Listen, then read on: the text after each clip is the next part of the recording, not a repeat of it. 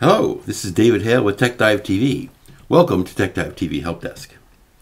Now, a friend of mine came up to me the other day and said, David, do you know how to take the pictures off my Windows phone and put them on my Android phone?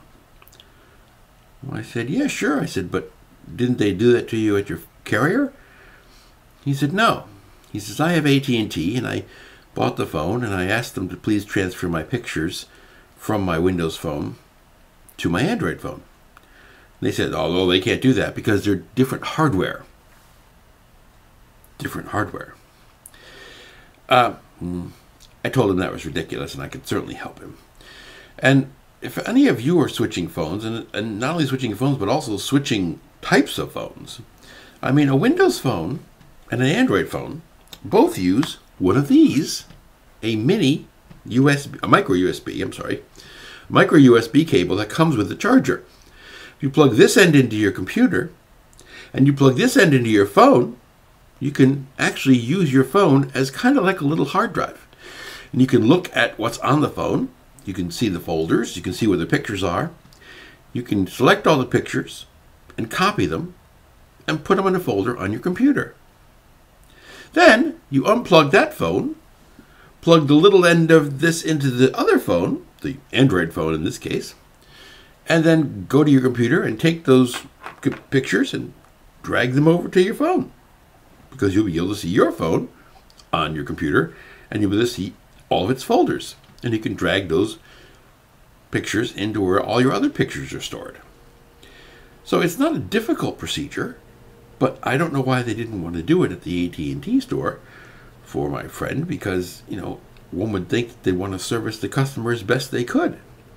But evidently, it was easier just to say, no, we can't do it. That's uh, you know different hardware. You know, I, you can't put them together. Another way you could do this is with an, a free application called Bump. You could put Bump on both phones and then just bump them together and transfer the files that way. No cabling needed for that. And also, you could investigate doing it via Bluetooth. Connect one phone to the other via their Bluetooth capabilities and then transfer the files that way. So there are myriad ways of doing it. Uh, the cable is the easiest way if you have a computer to put them in. But you know, if you don't have a computer in the middle, you can always use either bump or try the Bluetooth method. So if you want to transfer, you know, pictures from one phone to the other, go ahead and do that.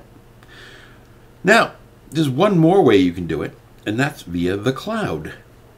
Yes, the ominous cloud.